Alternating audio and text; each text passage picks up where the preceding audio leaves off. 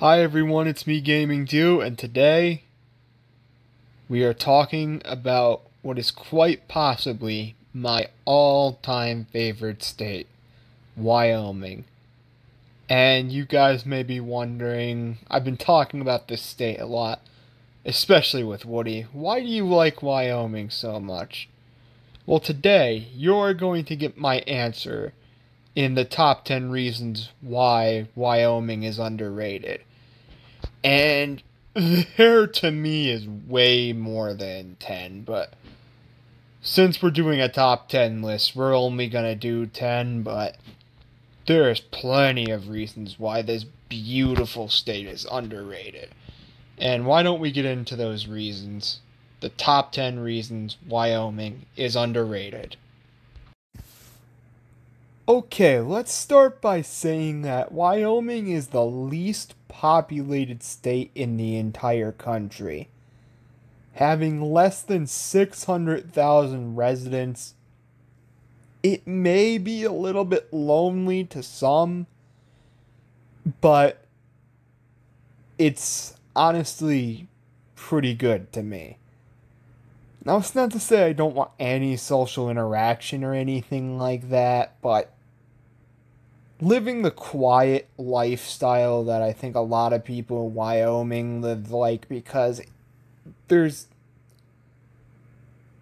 like almost no people here and it's very very rural and the biggest city in the entire state has like a population of 60,000 let me tell you this the population of the biggest city in New York, my neighboring state to the north, is about what, like 9 million? Compare that to Wyoming with Cheyenne at like 60,000. That is so much more populated. Um, New York City is over like 10 times, even more than that more populated than the entire state of Wyoming, which is way bigger than New York City and area. Yeah, it's pretty freaking quiet here. Very, very, very, very, very quiet, as a matter of fact.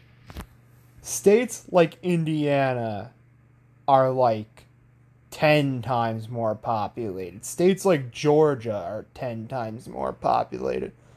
The point is, Wyoming is a very unpopulated state, the most unpopulated state, and is the second least densely populated state behind Alaska. And in a way, that's the way I like it. But it might possibly be one of my least favorite aspects of the state, but it's definitely good for some people. And for the most part, it's pretty good for me. I mean, if your flag has a bison on it, I'm pretty sure this is a great flag. Bison are huge in Wyoming, especially in the Yellowstone area. So, what better animal to have on your flag than a bison? And as for the state seal, if I'm being honest, I don't really pay attention to that stuff. But, you know what? This is a truly great flag and one of my personal favorites in the country. Maybe not absolutely number one. I kind of like the design of Colorado's and Arizona. Arizona's probably my favorite flag in the country, in my personal opinion. That's just so creatively made. Um, and it looks great. I would also probably say that I might give a little bit of points to Texas because of how iconic it is. Wyoming might be third, though.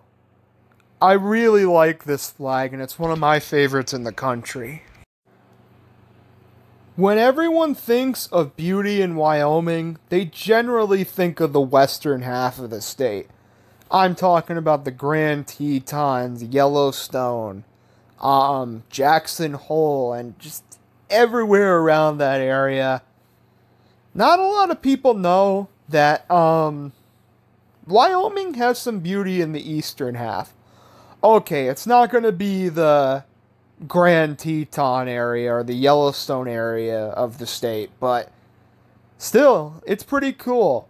And the coolest place of all in this part of the state is Devil's Tower, which basically is a giant rock tower, kind of.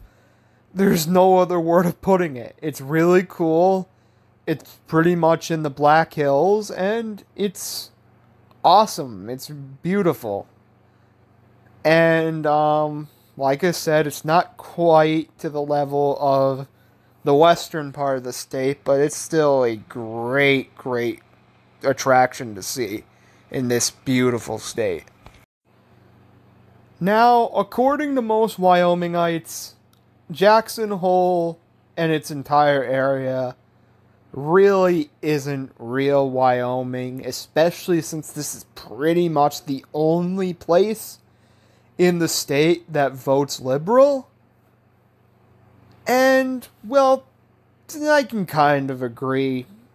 But at the same time, it's a pretty cool town. I mean, you got this really cool old west type architecture that just looks awesome and it's in the mountains and I know there's plenty of other towns in the country that are like that, but you got the uh, Antler Arch, which is awesome.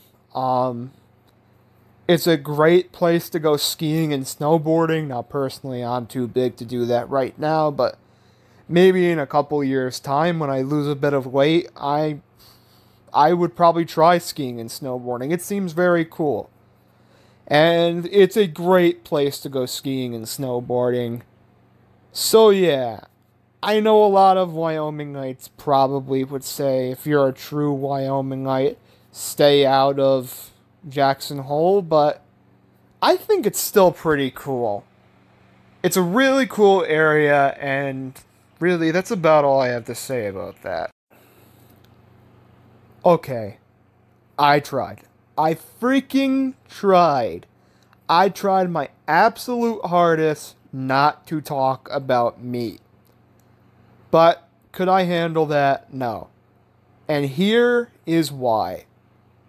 Wyoming is what I'd call another nickname the meat state.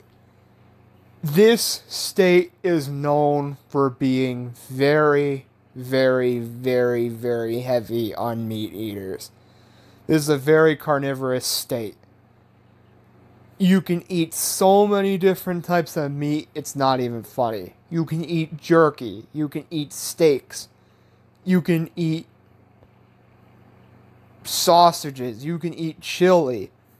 But that's not the only unique thing. It's what kinds of meat you could eat here. You could eat beef, sure, but you could also eat bison, elk, and um there's something called Rocky Rocky Mountain oysters. Try them. Oh, they're really good. Please try Rocky Mountain oysters. They are the best thing to eat around here.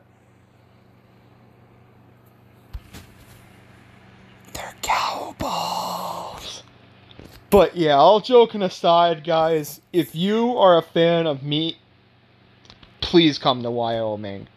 If you're a vegetarian or a vegan, I wouldn't say Wyoming is especially the best state to eat in, but if you are a meat eater, Wyoming might just be the best state to eat food in.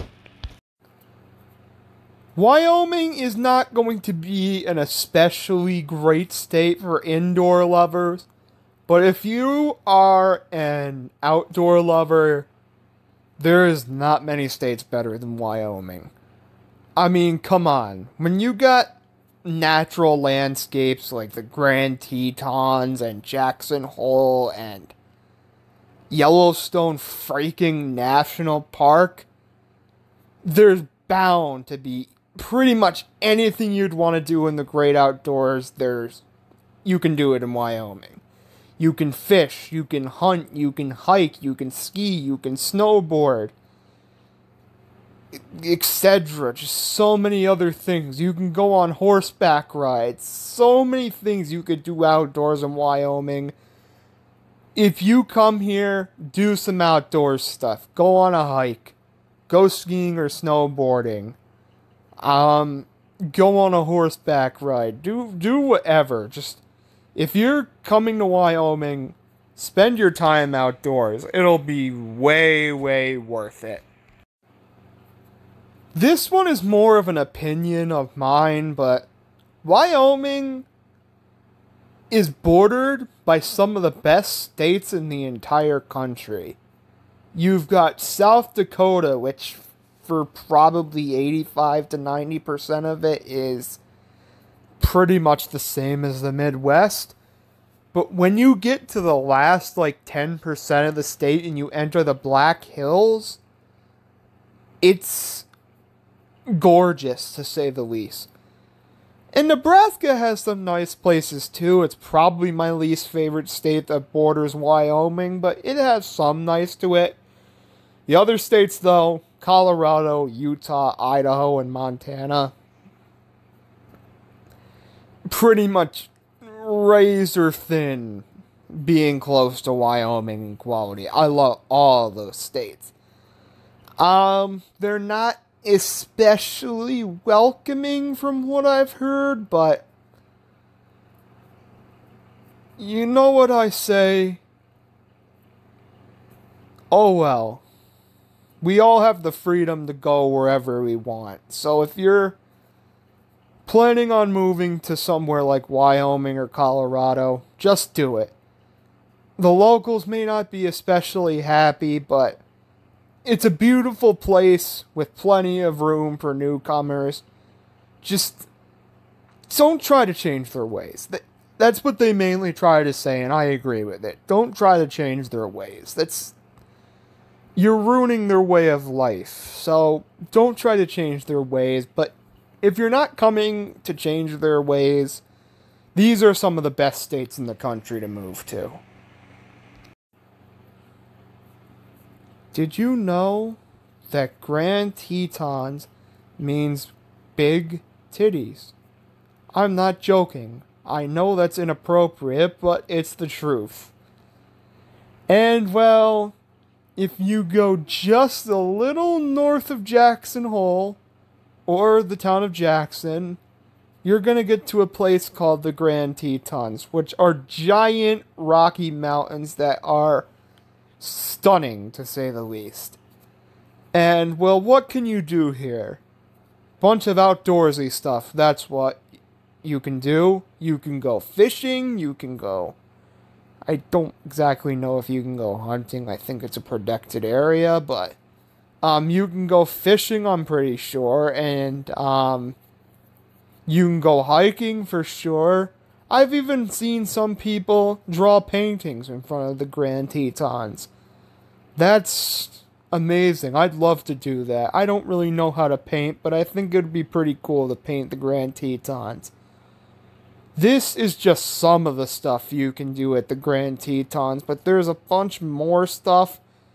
They got like what? An old barn there that's really cool. And just I, am gonna go on and on about it if I keep doing this, but the Grand Tetons are one of the best places, not only in Wyoming, but the entire country. Now, what do I got in terms of wildlife for where I live? We have some black bears up in northern New Jersey and pretty much throughout the entire state. You'll see them on occasion. They're not as common as um what I call um, New Jersey state animal, at least in where the part where I live, freaking deer. Deer are freaking rampant around where I live. Um they are everywhere around where I live. They don't have an especially huge population in my state as a whole, but in the area I live in, we get a lot of deer.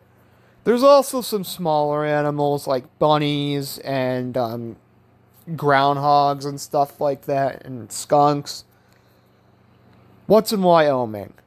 Grizzly bears, deer, mule deer, elk, moose, pronghorns, um, badgers.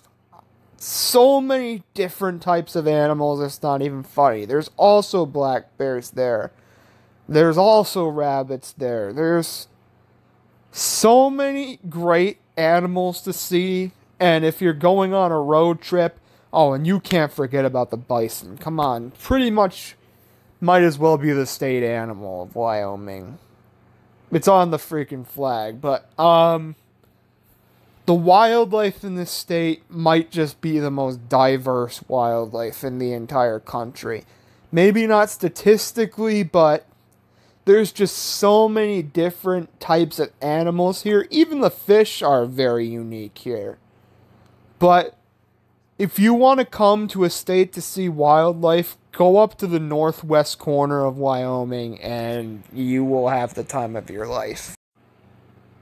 And what is the number one thing you think of when you think about Wyoming? Why, it's Yellowstone National Park, which is a grand majority in this state. And it's one of not only the most beautiful places in America, but on Earth. And in my personal opinion, it might just be the most beautiful place on Earth. You can have unique waterfalls and stuff like that that are beautiful. You can have beautiful white sandy beaches. You can have really high mountains up in Alaska and stuff like that. But to me, nothing compares to the beauty of Yellowstone National Park. My personal opinion, this is the most beautiful place on planet Earth. All the geysers that are here, they have high mountains here. There's Old Faithful. There's the Yellowstone. Um, I don't know exactly how you say it. I should, but it's the volcano that's basically going to erupt. All the colors combined to show that, especially in this picture. It's breathtaking. Yellowstone National Park is the most beautiful place on planet Earth, in my opinion. And I plan on visiting here one day. And I plan on going not in the near future, but I'd like to go, say, in the next 10 years. I'd like to go before I turn 30, is my point. And I. This is the best part of the entire state for me, is seeing this absolute wonder of the world inside of this pretty unpopulated state, but a great state nonetheless. So yeah, today we talked about my might be my favorite state. It's definitely up in the top 3. Wyoming. This is just such a great state with so much to offer. It may be a little bit sparsely populated for you and it may be slightly boring if you're more of an indoorsy person. But if you can get used to the great outdoors, this is a great state for you. Just don't try to change the way of the people, and you'll have a good time here.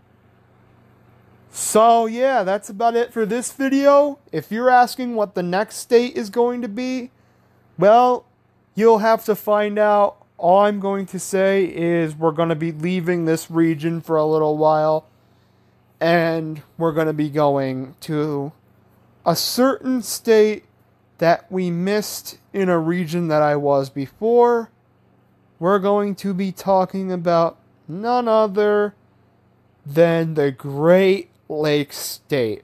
Stay tuned next for my top 10 reasons Michigan is underrated.